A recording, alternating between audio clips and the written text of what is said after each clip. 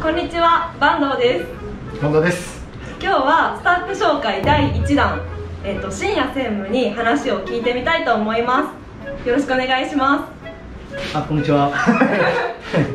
まあちょっとスタッフ紹介第1弾ということで、はい。ちょっと深夜専務から。はい、ちょっと最初に、はい。お願いしたいと思うんで、はい。じゃあ早速えお願いします。お願いします。自己紹介お願いします。あ、はい。専務取締役やってます。えー、深夜王と言います。よろしくお願いします。お願いします。前職とかってはい何やってたんですか？前職は今から10年、11年ぐらい前に行ったんですけど、えー不動産業ですね。あ、そうなんですね。はい。そちらの営業をやってました。じゃあここの会社で働くことになった流れというか。あ、実はその不動産やってて、営業とか仕事に対してあんまりこういいイメージがちょっと持てなくて、それで退職してした感じなんですよね。営業はもうもうやらないと一生やらないぐらい。なるほどなるほど今のあの社長が中学校の時の友人からの友人なんですよ。あ、そうなんですか。はい、で、えーたまたま再会して、えーまあ、自分で会社やってると、まあ、今の会社ホームランなんですけど、まあ、自分もちょっとあの、まあ、営業もやらないと言いながらも若干ちょっと未練があったのでただその他の会社に正社員として飛び込んでいくっていう勇気がなくて、うん。まあ、特別に仕事をやりながらアルバイトもう週1回。あー。じゃあ最初はちょこちょこ行く感じの。そうですそうです。かつその友人の会社ってことで全くこれが知らない会社とか正社員とかだったら今の自分はないんですよね、うん。その前の不動産の時のなんかいやちょっとこれ営業ってしんどいなみたいな思う、はい。エピソードとかなんかあります？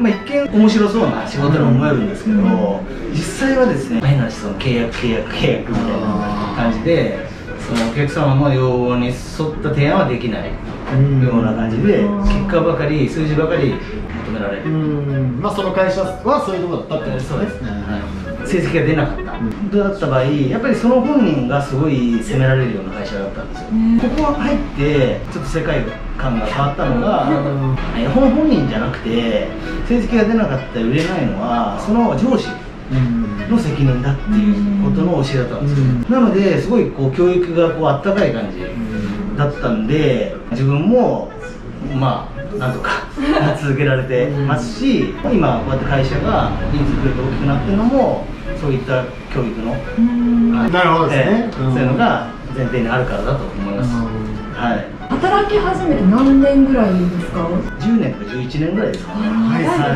はい。はい。やっぱり人数少ない時もあったわけじゃないですか、はい。このね、その時に印象的なエピソードとかはい。あります？あその当時は帰る時間が遅かったり。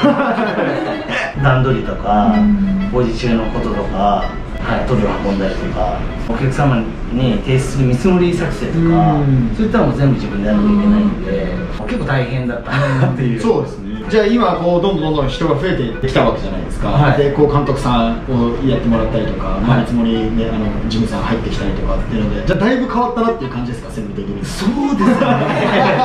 まあまあそうですね、はい、今結構基盤がしっかりしてきてるのであとはそのこう人材増えていけばもう間違いなくこう大きくもっと成長していけるかなっていう感じ。確かに、営業で気をつけてることとかってありますか？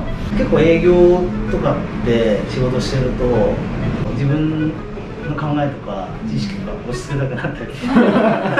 なるほどなるほど、でこう夢中になっちゃううん感じはあるかなと思うんですけどそれやっぱなるべくお客様の意見聞いてはい。耳を傾けて誠実な提案ですよね。あとはそのお客様のお家のことを考えた、はい、そういったことですよね。喋るイメージが先行するじゃないですかどうしても営業はい、結構こう聞くのがはい、大事だったりしますよね。そうですね。かなり大事ですねそこの力っていうのはやっぱりすごい難しいところですね、うんそうですね。どうしてもこういっぱい喋んなきゃっていうイメはいージが強い、あそうですね、はい、全然いっぱい喋ら正